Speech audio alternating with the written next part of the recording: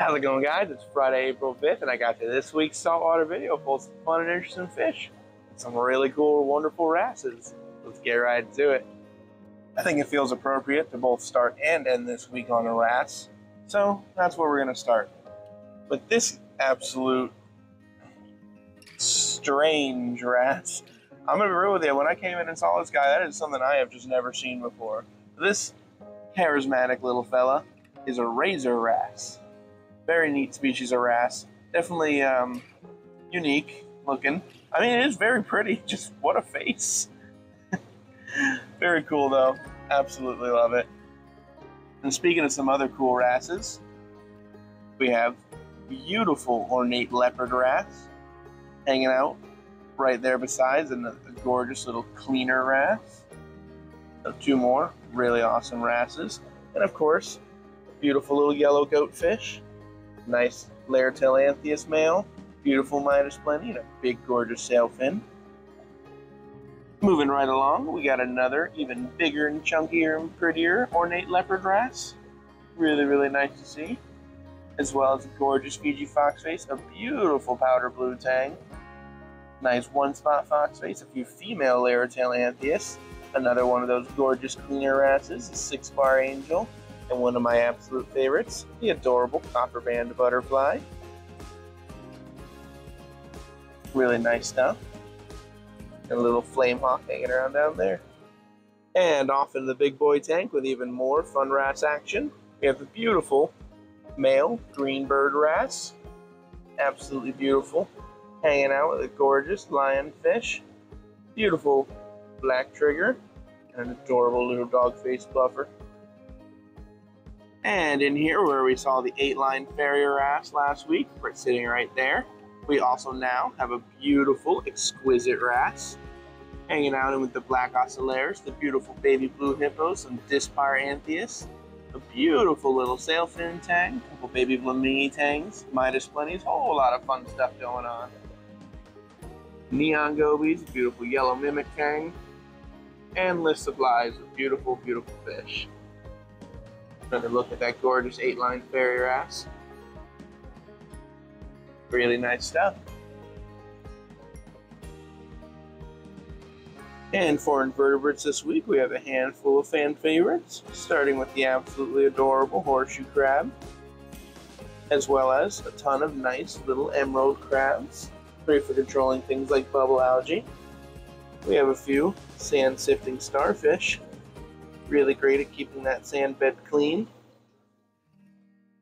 As well as, of course, plenty of blood and cleaner shrimp. Absolutely love them. We actually have some nice little blood shrimp in for once. Usually these guys come in quite big, so nice to see some little ones to start out with. And of course, who doesn't love a good old pistol shrimp? Really awesome. Fun to pair up with a uh, Watchman Goby. Moving right along, we've got this big, beautiful maroon clown who absolutely loves this gorgeous white long tentacle anemone. Always really fun to just see a clownfish anemone hosting situation. Really, really cool. Speaking of really, really cool, we have an absolutely gorgeous banded pipefish in right now. Really cool species. Pipefishes are closely related to seahorses and should pretty much be treated the same, but otherwise, beautiful an interesting species to look at. Absolutely love them. Hanging out in here with them. It's a handful of adorable little Banggai cardinals. And a bunch of gorgeous feather dusters. Both colonies and individuals. And some really nice big olive Nassarius snails. Continuing on with the wrasses, however, we have the beautiful four-spot yellow coris wrasse, hanging out with a handful of some ocellaris, an evil eye angel, a beautiful starry blenny. You can kind of see darting in and out of the background there.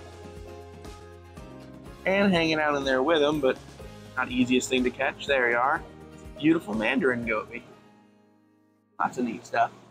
And you can kind of see the starry blenny's face there as well. Here's another beautiful mandarin goby here. This one I'm almost certain is a male. Very pretty guy. Hanging out in with this gorgeous Lubbock's fairy wrasse and a few more ocellaris, as well as a big beautiful sailfin.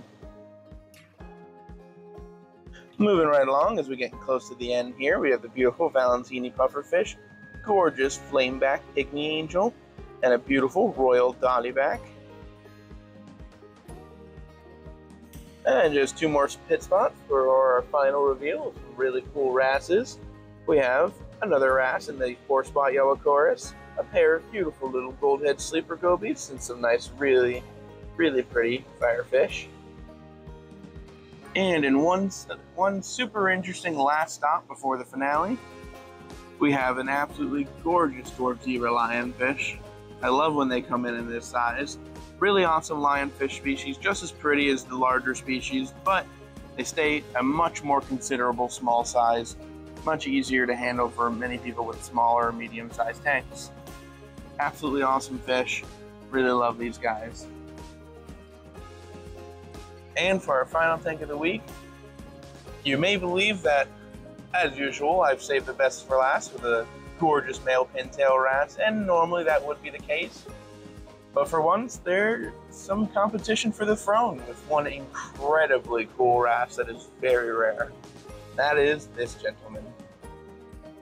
This is a red-headed wrasse, a beautiful wrasse species with a stark green body and a ruby red face, blue trimming around the fins, all around amazing fish that wants to hide behind the text.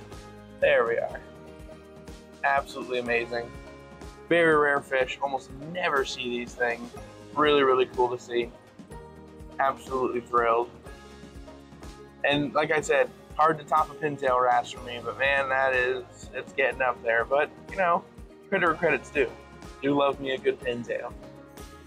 Absolutely awesome stuff. Alrighty, that's going to do it for this week's video. Make sure you like, comment, subscribe, and any of our newer local customers looking for anything cool or interesting, like the comically faced razor wrasse, feel free to email us at contact@exoticaquatic.com. We'd love to see we can get in for you. Until next time.